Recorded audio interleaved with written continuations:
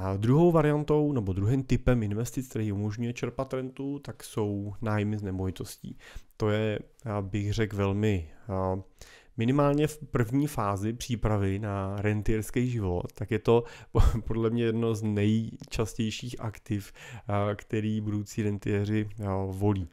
A protože je to samozřejmě tak, že když chcete budovat firmu, tak to trvá taky to trvá teda velmi dlouho, podobně jako u těch nájmů a musíte mít nějaký nápad, musíte eh, mít nějaké schopnosti a tak dál.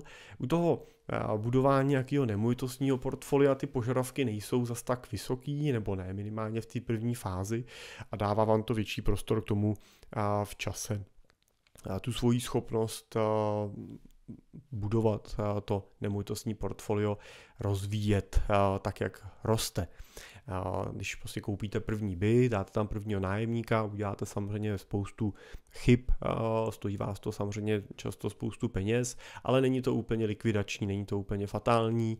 Oproti té firmě ta nemovitost přece jenom má větší šanci, že tady ještě bude za 20 let u těch firm. Ta statistika, když začínáte podnikat, tak je tvrdá a, a statisticky víte, že naprostá většina těch firm se nedožije horizontu 20 let. Já třeba jsem toho sám příkladem, protože já mám třetí firmu a teprve ten třetí pokus už byl úspěšný, ty předchozí vlastně z řady důvodů, můžeme od nich někdy natočit nějaký podcast, když vás to bude zajímat, tak se úplně ne, my nevydařili nebo nedošli, nedošli k tomu cíli, ke kterému byli směřovaný a, postupně vlastně skončili, anebo dneska už jenom třeba bez země, ale už jenom třeba přežívají. Takže u těch nemovitostí to trošku snaží, protože tu nemovitost přece jenom můžete pojistit proti nějakým rizikům.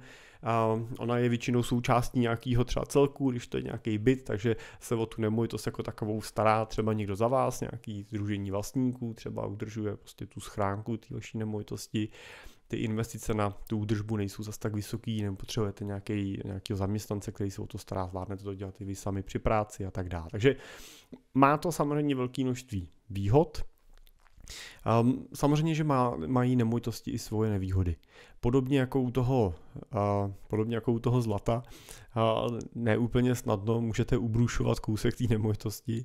Když potřebujete trošku víc peněz, než vám ten nájem je schopný dávat, tak uh, to není úplně, uh, úplně snadný. Prostě nemůžete úplně 5% té nemovitosti prodat.